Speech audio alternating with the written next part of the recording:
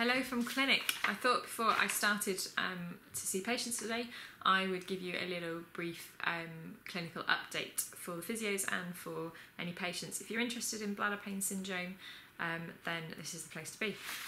So, I've got a couple of papers um, of stuff I don't understand, which is the best way to learn. Um, one is by Parker and I'll put the references down below here. If you're watching on YouTube, you need to head to my website to get the blog beneath it to look at the references.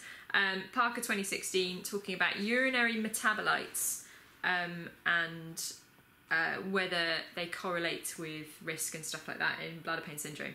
Um, it's one of the MAPP Research Network, which is the multidisciplinary assessment of pelvic pain and um, uh, bladder pain syndrome, um, which is a huge network of like 250 researchers all over the world um, working on trying to discover what's going on and how to cure it, or at least treat it effectively.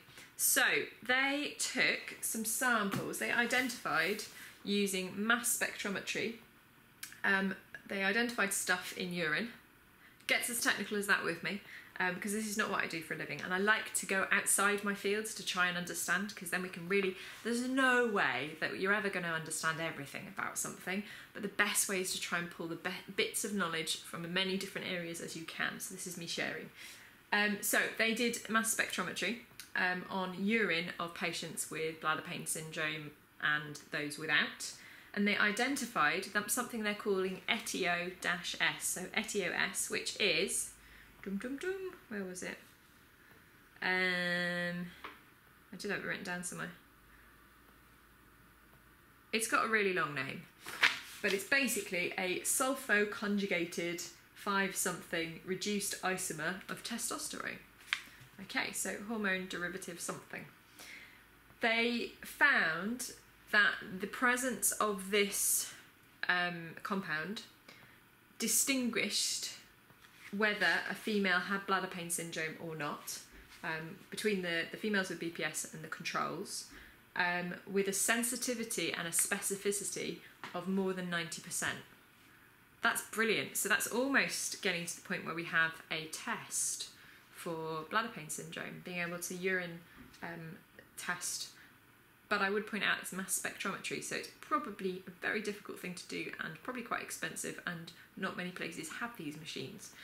So the same way that we can now test for um, bladder pain syndrome using MRI scans that show activity within our supplementary motor area 1 and limbic system and lots of other different colouring within our brain and show that your brain works differently when you've got bladder pain syndrome in response to the chronic threat that you feel under. Um, we now know that um, we can also test your urine and maybe find the presence, if you're a female, the presence of this ETIO-S or lack of. I don't really understand which way it goes. I'm pretty sure it's the presence of. Um, so they talk about this being potentially a phenotype that those with high symptoms um, could, yeah, so among ICBPS patients, urinary ETIO-S levels are correlated with elevated symptom scores of symptoms, pelvic pain, and number of painful body sites. We'll come back to that. And they could reso- um, resolve high low high from low symptom subgroups. So we have another way potentially of phenotyping those with either a lot of ETIO-S that have really, really significant symptoms. Um, that little thing they said, symptoms, pelvic pain, and number of painful body sites. That's really interesting because we know that we have a phenotype potentially already, which is pain within the bladder, pain outside the bladder, and those with pain outside the bladder do much worse um, in general in their recovery, it, it potentially um, shows that the, the body is fighting a greater threat. Doesn't mean that they're, they're done for. There's lots that can be done, and certainly in my experience, I would find that um, most patients have other stuff going on, and we work with those things and we get them back to function, and it's great. Um, so there is hope. There's definitely hope. There's always hope. But um, we know that patients with just pain within the bladder, it's quite straightforward um, as an approach of stuff that we can do. Um, and again, this is another study backing that up. And that work originally was Jason Kutcher's a couple of years ago, his team, I don't know where he is, um, but looking at pain within, pain without, and Nickel and Tripp as well. They've done some work on pain within, pain, pain without the bladder. But I found that was interesting. So there's potentially an underlying biomechanical abnormality to do with bladder pain syndrome. And another metabolic one, histopathology of um, characteristics of BPS. Um, and they were looking at Hunner's ulcers or Hunner's lesions, not glomerulations, but Hunner's lesions, um, and not Hunner's lesions. So this one is Kim et al. 2017, last year. First, yeah, first published June last year. What they did is they took 15 patients with non-Hunner's ulcers, type bladder pain syndrome. So on um, cystoscopy, they have a look at the bladder, they don't see these little lesions.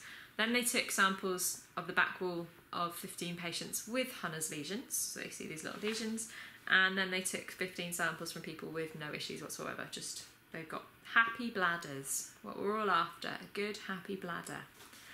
And what they found was very interesting. So, patients with non-Hunner, without the lesions, have more, but ha- that have interstitial cystitis bladder pain syndrome, BPS, let's please all call it BPS, bladder pain syndrome, they have greater fibrosis and mast cell proliferation or infiltration. Fibrosis being a bit like stenosis or really fibrotic and grotty, like difficult to stretch, than people without people with Hunner's lesions or without any bladder pain at all. People with Hunner's lesions and bladder pain syndrome symptoms have greater inflammation in general within their bladder lining than those with non-Hunner lesions and non-interstitial cystitis, and it was significant. So basically, we know that if you've got moderate to severe symptoms and you don't have Hunner's lesions, you're more likely to have a fibrotic small capacity bladder. You have to go to the toilet a bit more often um, frequency, urgency a bit more significant, reduced bladder capacity. And if you've got Hunner's lesions, you're more likely, if you've got moderate and severe symptoms alongside this, to have inflammatory issues, which again is another potential phenotype. Phenotyping is really important because phenotyping lets us ask the question um, what is your specific disease like? What is your specific experience of your disease or your pathology? How does that relate to what we know already um, about people that are just like you? So if they are just like you, you know, they're also 47 with a hysterectomy, with blah, blah, blah, blah, and this kind of pain. Or how do we know that we can best treat you based on all the evidence? So we've got another type of potential phenotype because we're always trying to find the right way to treat the right patient at the right time.